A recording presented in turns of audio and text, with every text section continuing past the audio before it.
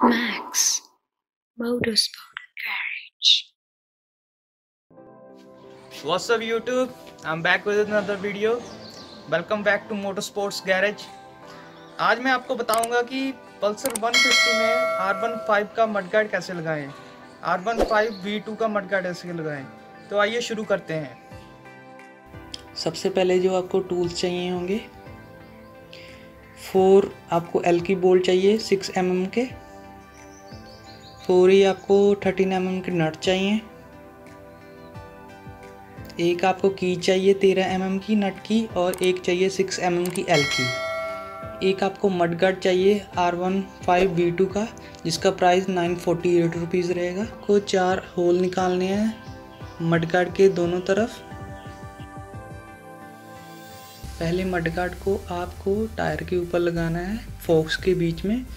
फिर एक आपको बोल्ट लेना है।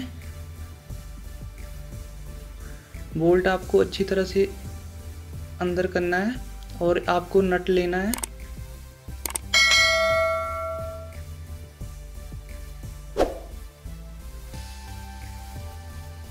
एलकी की सहायता से आपको उसे थोड़ा सा टाइट करना है। याद रहे कि आपको ज़्यादा टाइट नहीं करना उसे।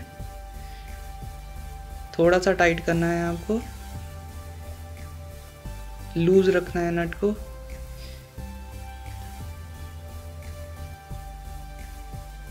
पीछे भी हमने यही करना है। नट लेकर उसे थोड़ा सा टाइट कर देना है। जिससे कि मड कार्ड की टूटने के चांसेस बहुत कम हो जाते हैं।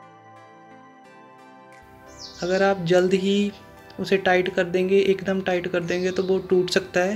इसलिए आपको धीरे धीरे टाइट करना है चारों तरफ़। दूसरी साइड भी आपको यही करना है।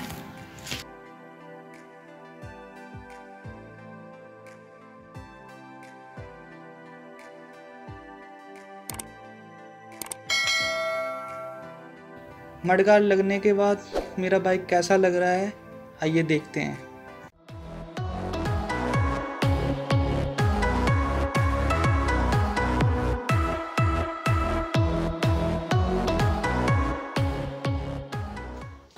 आपको ये वीडियो कैसी लगी कमेंट सेक्शन में ज़रूर बताएँ।